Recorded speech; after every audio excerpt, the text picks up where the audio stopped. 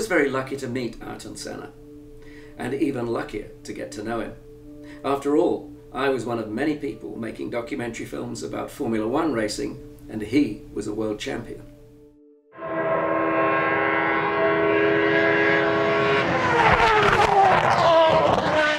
These numbers tell the story of a career. This film tells the story of a man. In between seasons, Ayrton always went back to Brazil to unwind, only returning to test the next year's car. How is it returning to the racing car for such a long absence? Well, it's nice, first of all, to see number one on the nose of your car. That is really a great feeling. It's the second time I experienced that, and I hope I will have a few other times. I wondered if at this stage in his career he felt that he had anything to prove. In the end, what matters is to do it the way you like to do, the way you believe is right. And you have to be positive, you have to be strong, psychologically speaking. Very, very tough, very, very strong to go through the doubts and uh, knockdowns and, um, and uh, kind of war that goes on sometimes to be tough and go through it and make sure you get to the other end of the tunnel. Ayrton Senna was not one of the boys. In a group photograph, he can't seem to get away soon enough.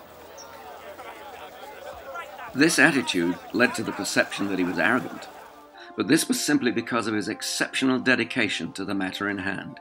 There has never been a more focused driver than Ayrton Senna. On Ayrton's visit to the factory after a winter break in Brazil, he wanted to see the new car that could carry him to another world championship. How carefully he touches it. He was always thoughtful, as can be seen from his reflection about the best qualifying strategy. Depends on the, each each event, on the on what situation you find yourself what are your difficulties, what are your strengths at each Grand Prix, technically speaking, relatively not only to your car but to other people. Then you have to to to play the game as it comes to you, as it presents to you. He tried to get the maximum out of any situation, even at a test interrupted by bad weather. As the track dried up, he checked its condition in a borrowed Porsche. He was determined to use all the available time for developing the car and suggested moving the track workers' lunch break. Some places are dry, but uh, here on the street quite damp still at the end of the street. Can, can they stop 11.30? Maybe 11.30 to 12.30 or not? Very, very difficult. Yeah? Even for 12 is difficult, but 11.30 is very, very difficult. Uh-huh. Is it dry enough that you could just get a run so we could check the fuel pumps out, get that pressure ready? Ah, yeah, sure. Sure, we can do that. And then stop. Later, on a break, while the track was still drying, someone brought a small road car with a new engine that fascinated the mechanics. Ayrton was interested too, but he couldn't wait to get back to work. Time to work! Come on!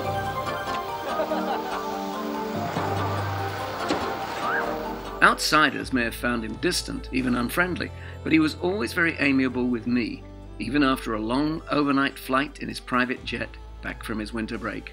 But I'm looking forward much more than I was a year ago. Uh, I had the opportunity to relax, cool down, restart, and uh, get ready in the best shape as possible for this 91 season. So we wait and see. At a formal dinner, I could see that he wanted to hear the speakers, but he good naturedly put up with the attention of his fans. It's always important to understand people. Okay? Tudo bem? because if you are able to establish a good understanding relationship, uh, you can evaluate better the situations you, are, you get faced to during the stress and during the pressure. At the beginning of one season, a new co driver arrived at a Silverstone test with zero experience of Formula One and no knowledge of the circuits. Andretti had to get used to the new paddle shifters. And uh, one, one good thing about it, you just keep your eyes on the road. Yeah. You don't yeah. look. But Ayrton was very sympathetic to the learning curve ahead of him. I think he has a tremendous challenge in front of him. Uh, with a limit time in practice, uh, still learning about the car and uh, totally new circuit. It will be difficult for him.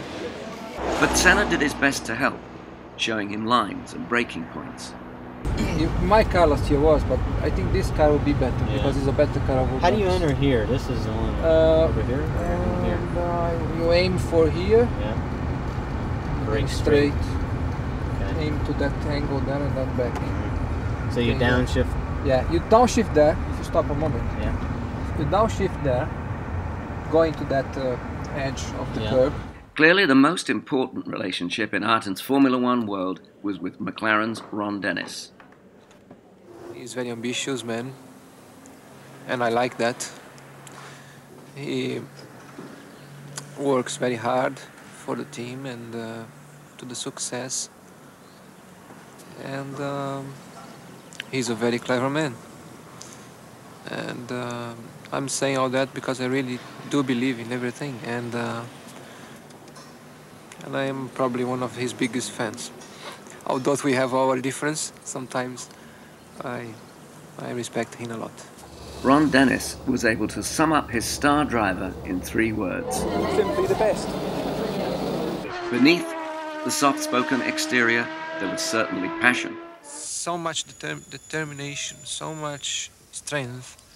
Uh, you just go, and there is uh, is very little to stop you. You just commit to it, and you and you you may see things that drivers that are not to that level cannot see, or take a little longer to realize.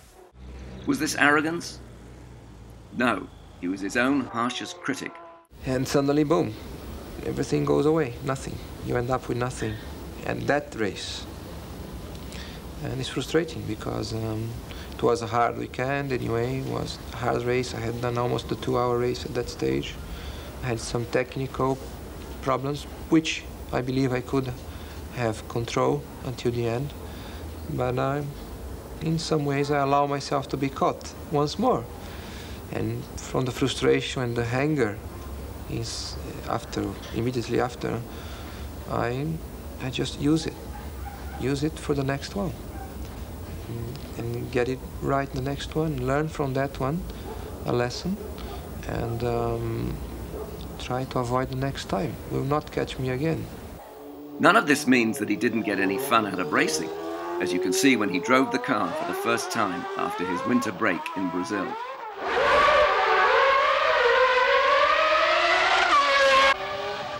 everything happens very very fast in a Formula One car. And when you drive only road cars for three months as powerful as they can be it's a huge difference and you only really realize when you actually drive it again even if you have driven for many years Formula One cars uh, it's really something when you actually do it Motor racing is dangerous, and only the foolhardy never think about it. When you're driving, you are risking. There's no difference. Of course, if a dr- some drivers have accident every time they drive is because they are doing it wrong. They are taking the risks, but they are taking the wrong risks. So when you are driving, you are risking, and you have to judge the risks you take. I wondered just how seriously he took the danger. It's very strong in my mind, and it's um, it's very good that he's there, the way it is, because um, it, it gives you the right feeling for self-preservation. At moments when you are dealing with a danger very near, in a way that uh, it's a very close relationship, uh, it's attractive. And being attractive, it could go a little bit too much at certain moments, and the fact that you you you are aware of it, that you can be hurt or you can die, uh, gives you the ability of stopping at some moments uh, where you really have to stop, and um, it's there. But I live with it very well, and um, uh, it's something that um, I use as a self-preservation feeling more than anything. Ayrton was in a number of my films and he was always very friendly. But I was surprised when he called me one day, quite out of the blue, and asked me if I'd like to go to Brazil and collaborate with him on a film about his life there. Well, who wouldn't? But I had one caveat. I said, You're a very quiet person, and I'm very noisy and outgoing, and I can't alter my personality just to fit in with you. I heard a laugh at the other end of the phone, and he said, Don't worry, I can handle you. Here is the film we made.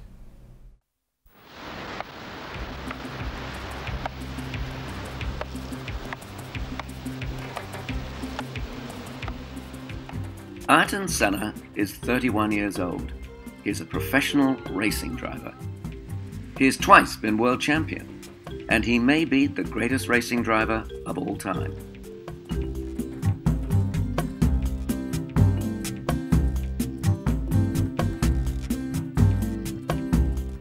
His extraordinary life divides neatly into two halves.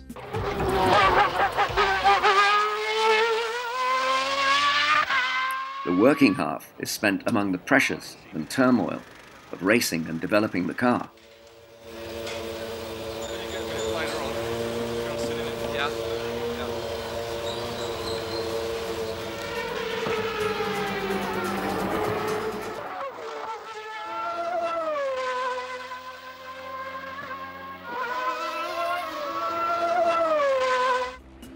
The other half of Ayrton's life is spent in his home country, in Brazil, in circumstances which can only be described as idyllic.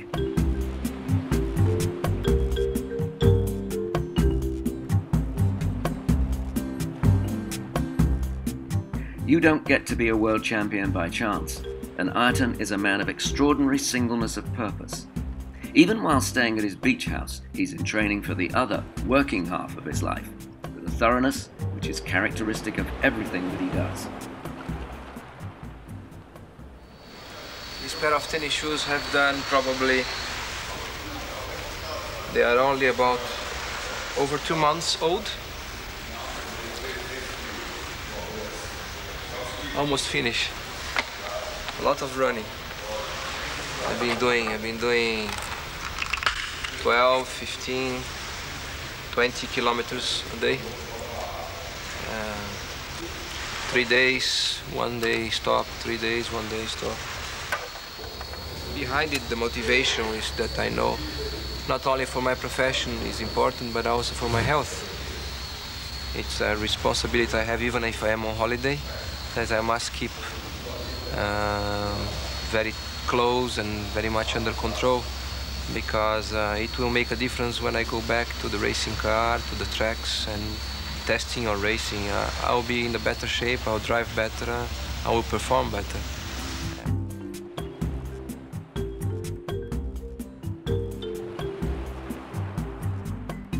Sometimes Ayrton runs on the beach, but today he's heading for a less glamorous location an oil jetty, about a mile offshore from his home. This is not a man who runs at random, as little or as much as he feels like. He runs to a planned pattern, and it helps to know just how far he's running. Conveniently, the oil jetty is exactly one and a half kilometers long.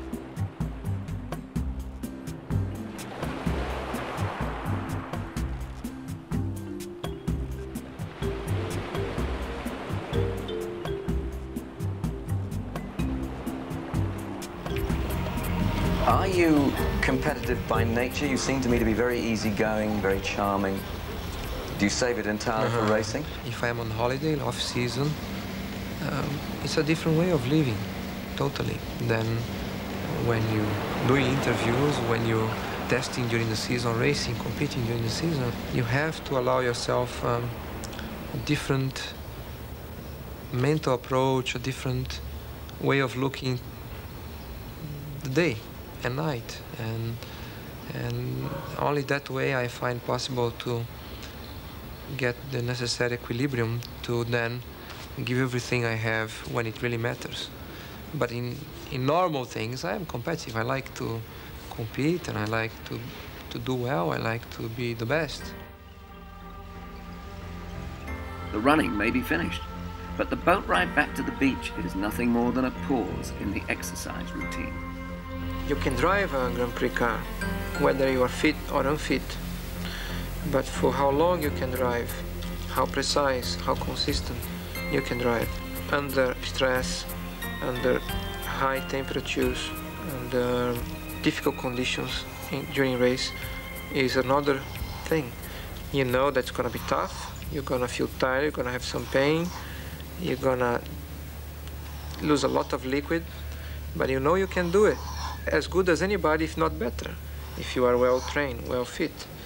So, if you are not fit, your concentration just tends to go gradually away during a race distance.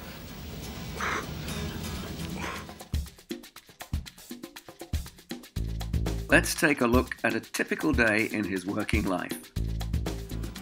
It starts around 6:30 in the morning when he leaves his hotel. Astonishingly, he drives himself to the circuit and has to find his own way there.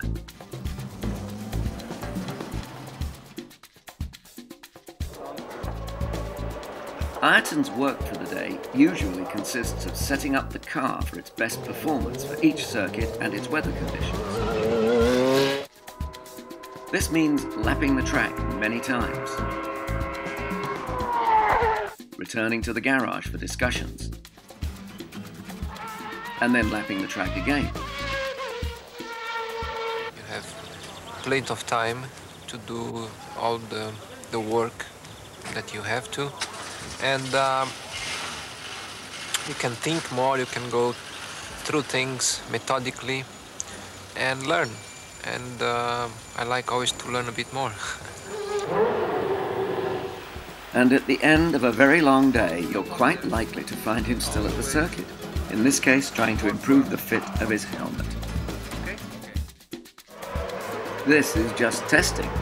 In a race for two hours, drivers are subjected to 5G in braking, 3G on acceleration, and 4G in the corners, so that a driver's head has a sudden increase in weight to about 50 pounds. Imagine the impact of that on the neck. And you can see why this unrelenting effort is necessary.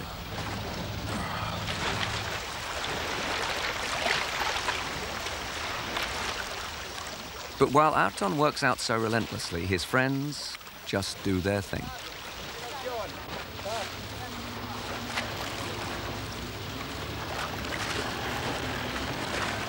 By the time he's finished exercising, Ayrton has worked up a healthy appetite.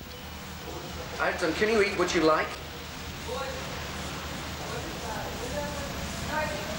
Pretty much. Not only what I like, but as much as I like to, as much as I want to. Um, I don't normally have a problem with uh, any kind of food. Of course, I try to eat um, healthy food. I love fruits in general.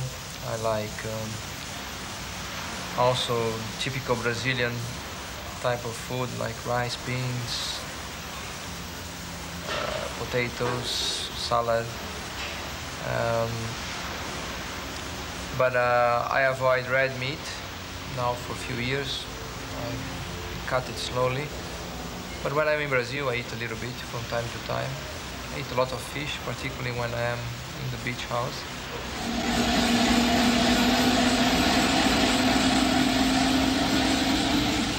It's very nice having your own helicopter if you want to show people around your hometown. Ayrton's hometown is the world's second largest city, Sao Paulo, the commercial capital of Brazil. This is the center, the business center of São Paulo. It's the big avenue with all the banks and everything, all the big, uh, big, the center, the big center. Lots of things going on. Onde é que está o outro lugar? This is Praça da Sé. It's the beginning of São Paulo. It's the Marco Zero. Tell me, what is this building, Ayrton? It's my new office. It's going to be my new office. And the top of it is especially being built for a helicopter landing pad for us. We have three levels of the building just for my our activities. here is, is where I keep my, my private jet, which I fly all over the world. Uh, it's a twin jet. A HS 125800 made by British Aerospace. By the sign leader is where I keep my jet. Now we're coming up to the circuit, Interlagos, where we come now to race the Brazilian Grand Prix. It has gone through major rebuilding last year, and we had the Grand Prix back in São Paulo, before it used to be Rio. Now it's just, as you can see, some still some work still going on, just before we the race uh, in March. Beside the racing circuit, there is the go-kart circuit, which is where I start racing 15 years ago. That's the go-kart circuit there, beside the main straight. Back in 73, I did my first official race, which I won. I actually won the race. The circuit is over there, on our left, where I used to run, where I do my training. Is the university area. It's only for students. And they have this club for exercise and, and fun and, and, and, and all kinds of sports activities. And uh, it's a place only young people, it's good atmosphere, good mind, which is important, especially when you're doing hard, hard training, to have a good atmosphere, a good uh, positive attitude towards to your exercise, your training program. In the suburbs, Ayrton showed us his parents' house, where he's lived for 15 years. We built the house from zero. Your people in Sao Paulo know you live here. Some, some. And now if he goes away, he'll see the mountain.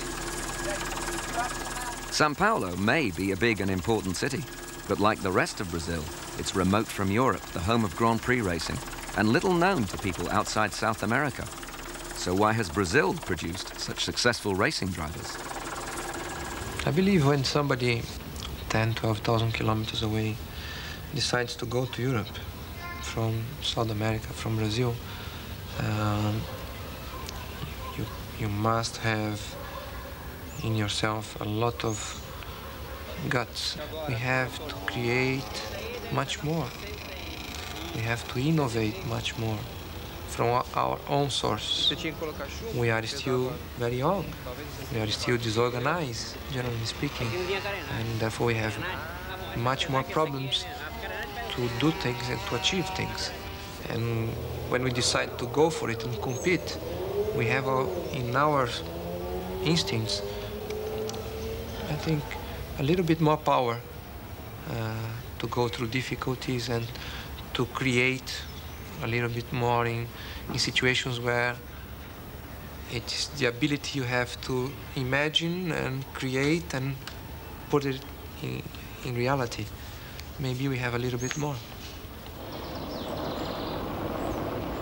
Racing drivers really are very different from the way the public imagines them. Ayrton does not drive a tire-burning supercar, but a practical Teutonic station wagon.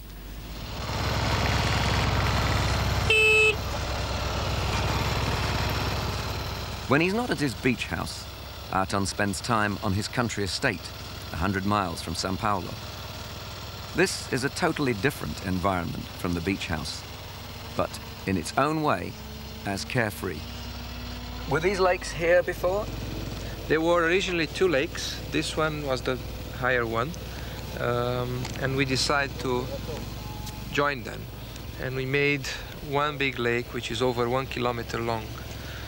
The water is a natural water, it's spring water, there is no outside water, it's completely clean. So it's, it's beautiful to water ski, jet ski, swim, and just play water sports, which I love. And we also are planning to put some fish here 15, 20,000 uh, to then be able to also to fish a little bit and have a fresh fish, the ones we like most, and uh, have fun. Now, over here, what are these buildings I see here? Well, they they were not in the farm when we bought, and then part of our development program, we decided to build those those houses for the workers. And so we have built so far about 10 houses, and the people who then work for us can have a good way of life. Uh, and also, uh, it's it's nice to see new things done properly with the right shape, right design, right style. We are also making uh, the main house for us. It's gonna have 10 suites. They'll be facing the lakes, and we have a swimming pool down here.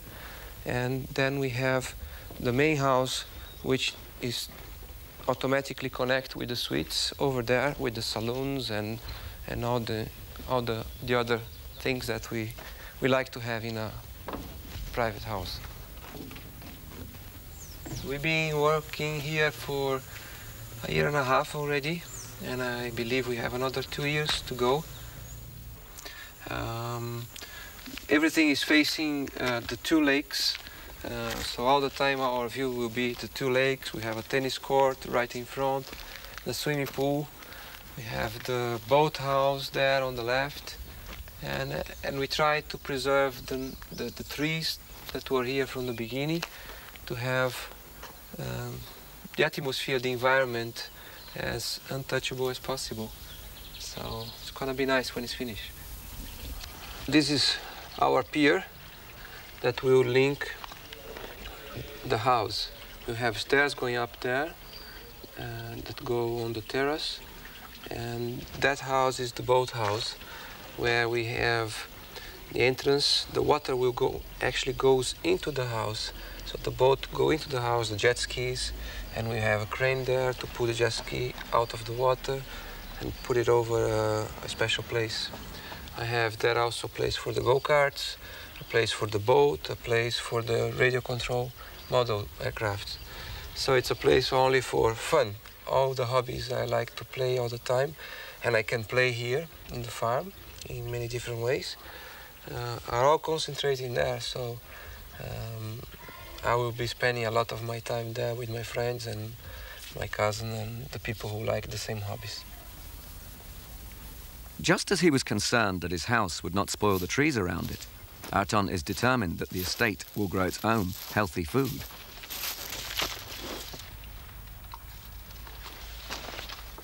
You've got a lot of stuff growing here, Ayrton. Yeah, this is just a small corn plantation that we have for our own need, for our own consumption. And uh, we use not only for us to eat, but also for the cows. You can see here, it's still premature, but uh, it's uh, our own corn with no chemicals or anything else that can be bad for your health see here? Mm. The corn, right? That's terrific. It's natural, no chemicals. So. Okay, here we are with the orange trees, one year old orange tree, and you can see still very green, it's not the, the season, but it's full of fruits already. And again, it's our own, you can come and grab from here and eat immediately uh, with no chemicals or anything else. This is just for everybody on the estate? Yes, it's just for our own use, uh, for my family, my friends, and also the people who live here in the farm. We have oranges, we have tangerines, we have lemons, we have bananas over there, we have the corn, we have rice, we have lots of fruits, and uh, it's only for our own consumption. Why are you pulling this poor tree out? Because it's mandioc tree and it's the way to get the stuff out so you can have a nice and fresh vegetable. Okay, this is it. Here is the mandioc, all the way. And you, you, but you now you've destroyed the tree. How long before you get any more manioc? It's about six months. You get a new one. It grows very fast, and is is the way to have this agriculture.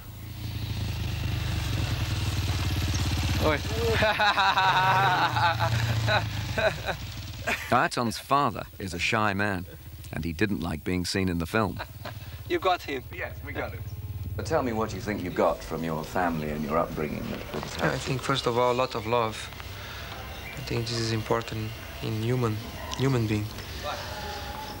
And um, I happened to have a lot when I was a kid from my family, and uh, that gave me all the strength I have in my education, my personality.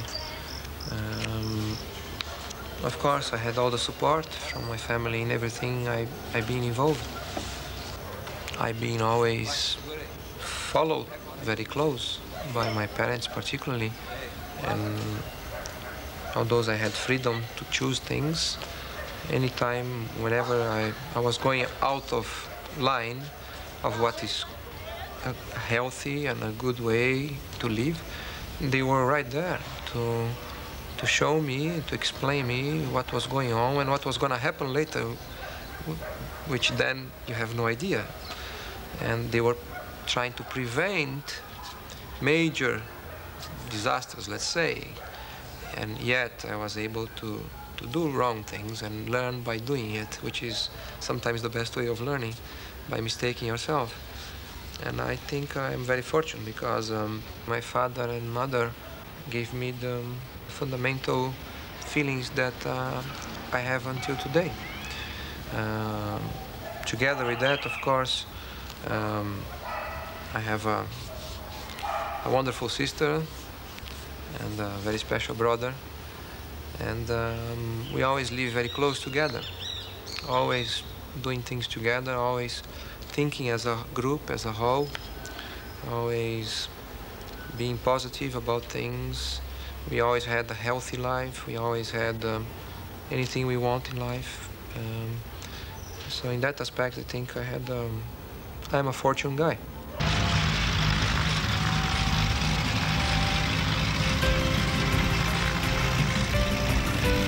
The ambiance on Ayrton's estate is a curious combination of the glamorous and the ordinary. People arrive in private airplanes as casually as they might arrive by bus. There are always children around with lots of different gadgets to amuse them. Some of these people may be wealthy, but they're all just folks, old friends, laughing and joking together.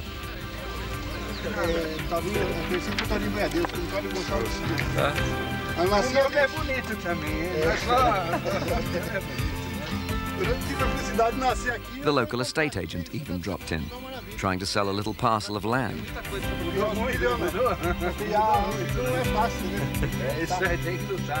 And his weight led to some good natured banter.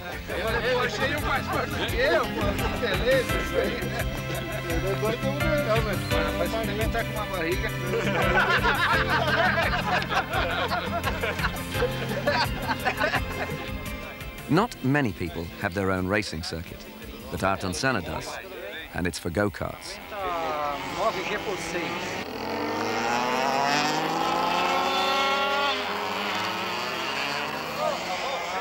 His private go-kart race meeting was a down-home affair.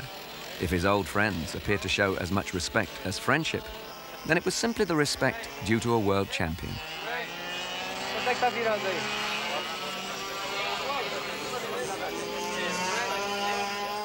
Quanto é que tá virando aí? Ayrton's racing success, particularly when the crowd is concerned with any kind of motorsport, makes him a kind of local squire. Quanto é que você já virou pé de breca?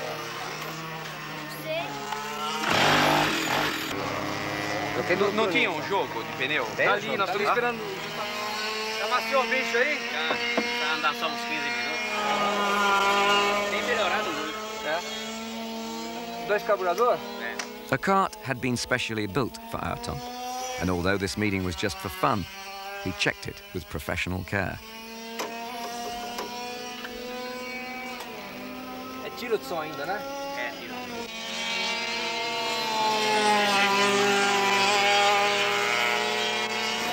It was years since he had driven a go-kart, but he obviously hadn't forgotten how to jump in on the move.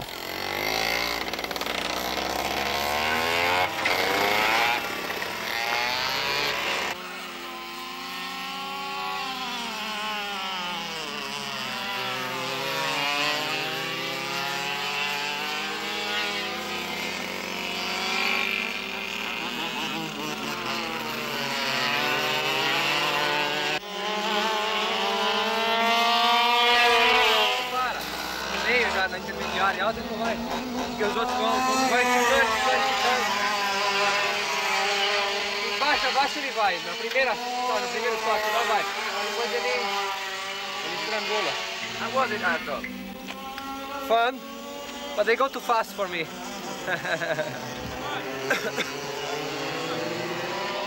the, the, let you win? the, no, no way.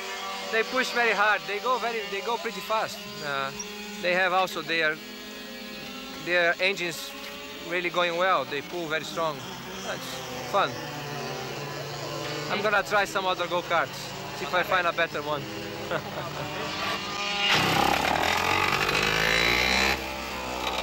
Like the professional that he is, Ayrton tried several carts.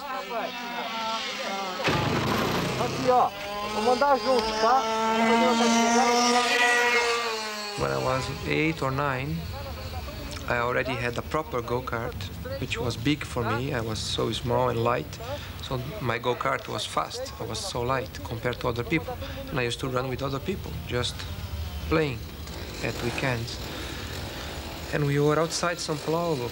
Suddenly there were so many people playing there with go-karts that they decided to organize a small race.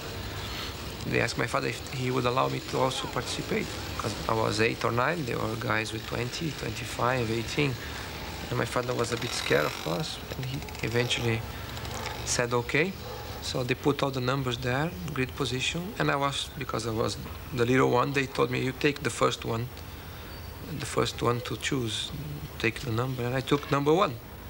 So I was on pole position. Uh, and, and that was really my first taste of competition. And I remember I led 35 laps out of 40 because my go-kart was too fast for them. I was big advantage being light. And eventually I was, the last five laps I was second or third. And the guy behind me, who was much faster than me on the corners, could not overtake me on the straight. Eventually he hit me from the back and I went off the circuit. And uh, so I didn't finish, but uh, it was good fun, good, uh, good memories.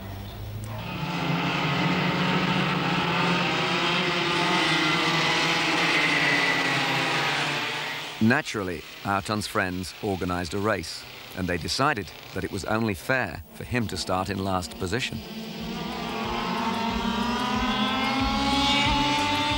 He drove kart number 42, his distinctive yellow helmet identifying him.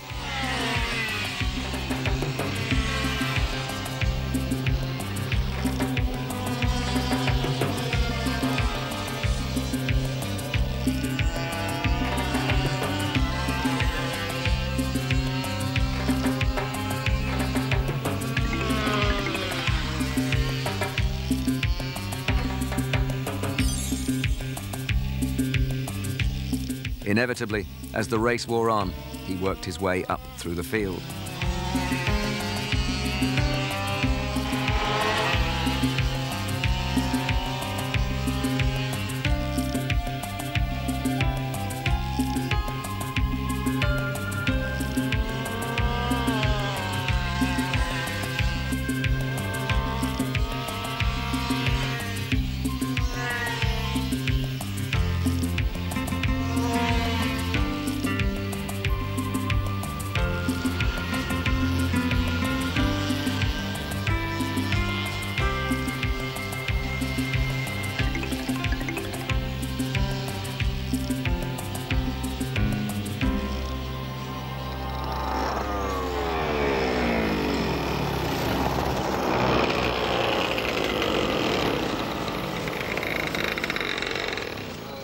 He started last and finished third.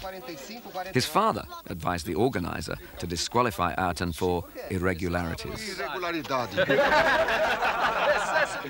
He was beaten by a beaming small boy who'll probably never forget the day he beat Ayrton Senna. Cadê o terceiro? 42. Não, o terceiro. Não, o terceiro tá 44. desclassificado. Tá Leonardo. desclassificado. Leonardo, tá Vai. de lá. Aí. É eu ou Alfredo, um dos dois. Não, é você o terceiro. Faz a posição. Vamos ver o tamanho do relógio aí, pra ficar mais adequado. Você quer jogar? Olha pra cá, tia, na fotografia, tia. Aí, valeu. E o próximo?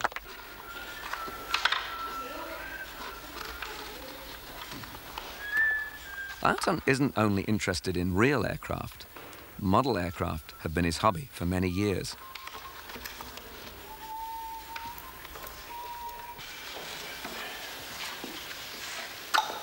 This is from Japan. Ayrton semi-special. There was a friend of mine in Japan who did it. And um, every year, by the Grand Prix time, uh, they make a plane for me, a model. Uh, they are from Honda Motor Company. They also have a hobby uh, model flying. And this is the second plane um, they give me in three years. Um, the big one in the wall is the Christen Eagle one, also was done by them. Beautiful. okay, okay, okay. Celcinho deve ter o combustível bom? Trouxe? Ah, deve ter trazido, né? Eles têm usado só aquele combustível.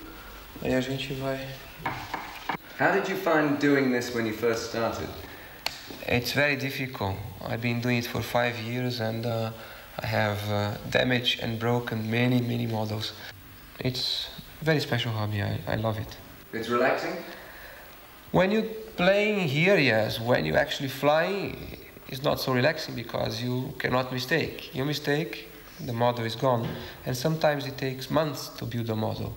Therefore, you create some love for it because you know how hard it is to build one and to damage or destroy one, maybe one second. So uh, it's some ways it's also a little bit stressing to do it when you fly, but uh, it takes your mind completely away from anything else because it uh, absorbs your mind, your concentration. So it's relaxing in a way to forget any racing cars or interviews, or things like this.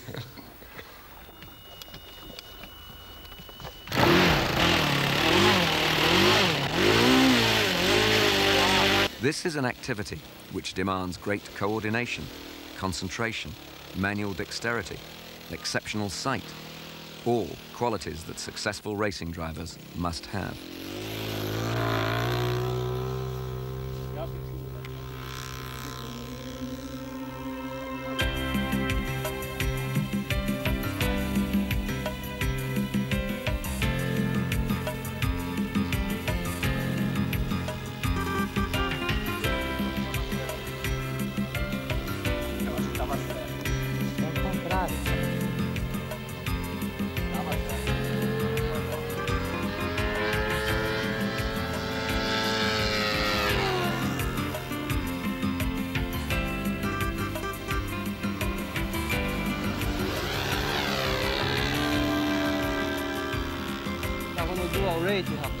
Puxei e não atendeu. Tava com pouco comando. Vou passar aqui na frente, Brian. Nessa posição mesmo, em cima dos carros, na altura dos carros. Fica aqui, ó.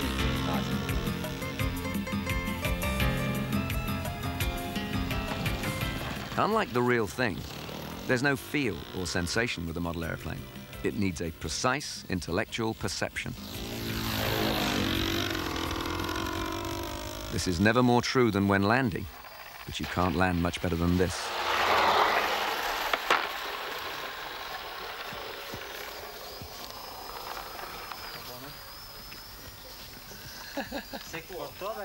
You, you, you had no, uh, no engine on that landing? Yeah, yeah, yeah. The engine stopped on the approach, so I had uh, I was gliding only. But the plane is is is marvelous. It flies very beautiful, very smooth. So it's not too difficult to fly uh, compared to other models.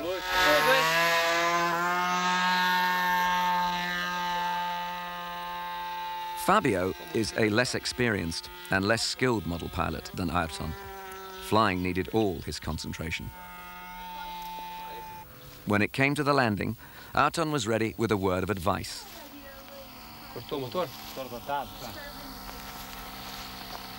Cortou o motor? Motor levantado? Tá joia, tá joia. entendeu? Perfeito. And the result pleased everybody.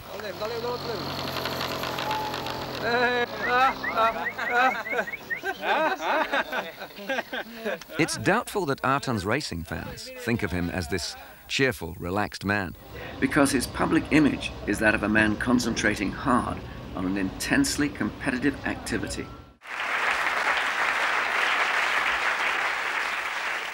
Some schoolboys in Scotland were lucky enough to see another side of Ayrton. Mr. Senna is happy to answer any questions that anyone may have. Mr. Senna, which of your fellow competitors do you admire most and why?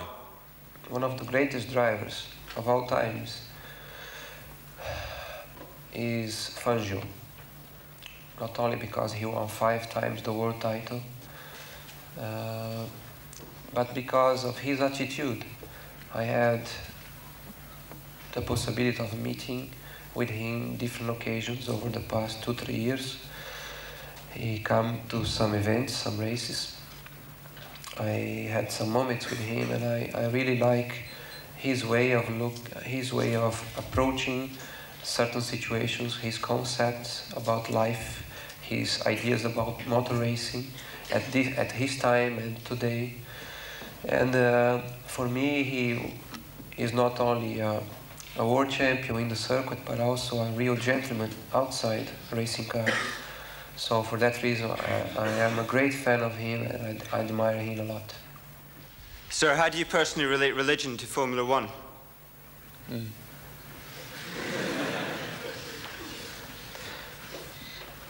I had a very nice experience today when I arrived here in the school because I was taken to the chapel that you all know. when you talk about religion, is a touching point, very difficult, easy to be misunderstood. But for me, it's a fact. It's not only by reading the Bible, where you read black and white, but I try hard as hard as I can to understand life through God. And that means every day of my life, not only when I am uh, home, but when I'm doing my work too. Sir, when do you hope to retire? Well, I'm only 31 years old. I think I have still a long way to go. Every time I sit in the car, I have a challenge and that is what gives me the motivation to to drive fast and to dedicate most of my time to a profession to train hard and the challenge is just going as fast as I can and be every time ahead and win as many races as I can. My lifestyle puts me in pressure all the time.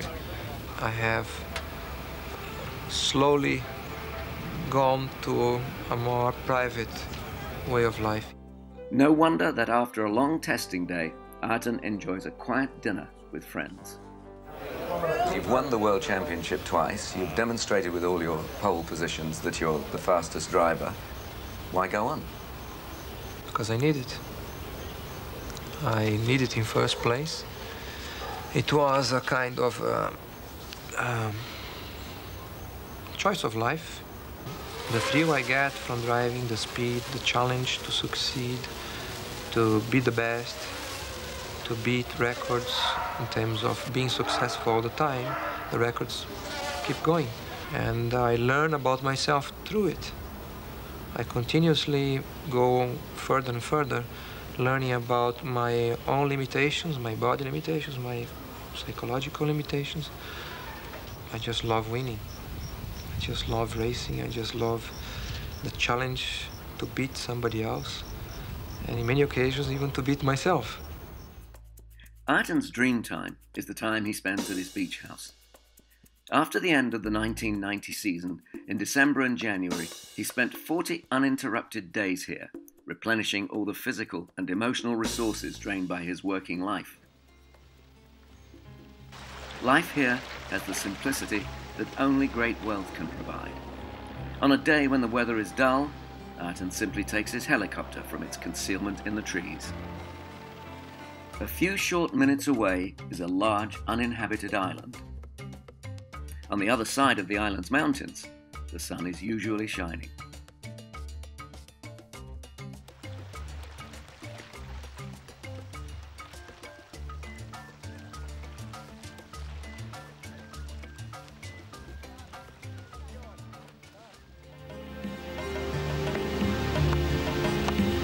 Ayrton Senna must be one of the world's most eligible bachelors, so you wouldn't expect him to be short of women friends.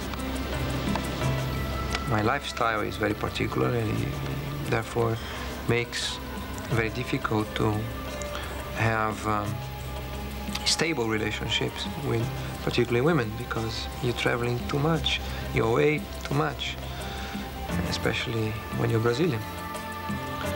And um, when I find the right woman at the right time, it's gonna happen.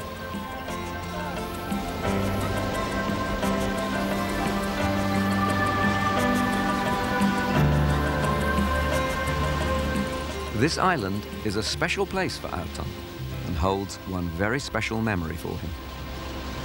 Well, I come here late in the afternoon. It was a beautiful end of the day. Uh, no cloud, just the sun going down.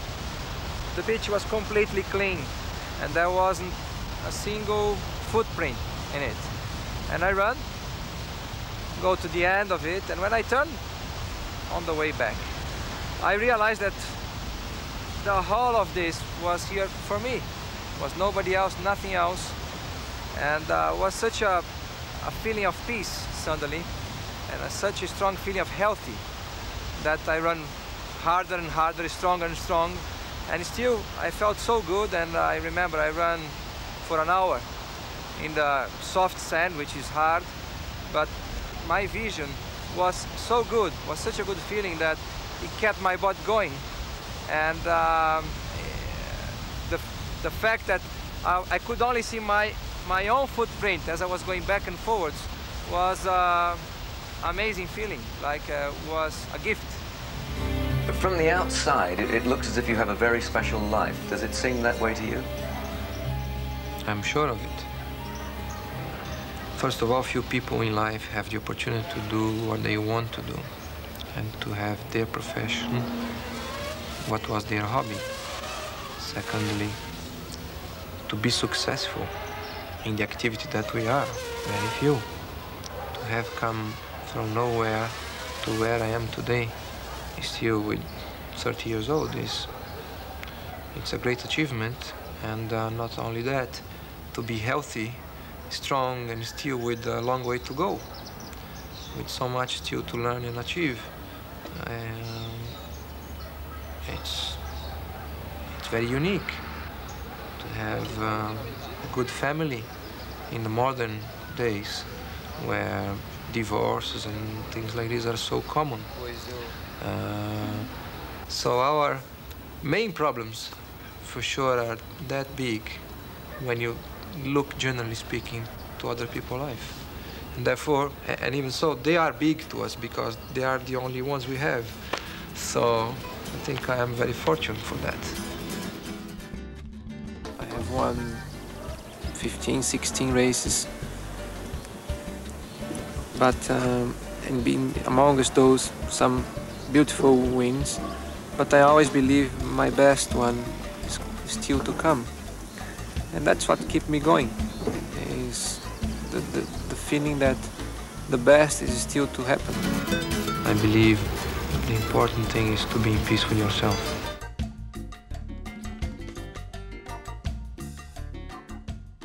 Ayrton Senna was a very unusual person. At times he had an almost mystical quality, as if there was more to him than you could see and touch. It's very rare in life that you meet anybody like that, and if you do, you'll never forget them.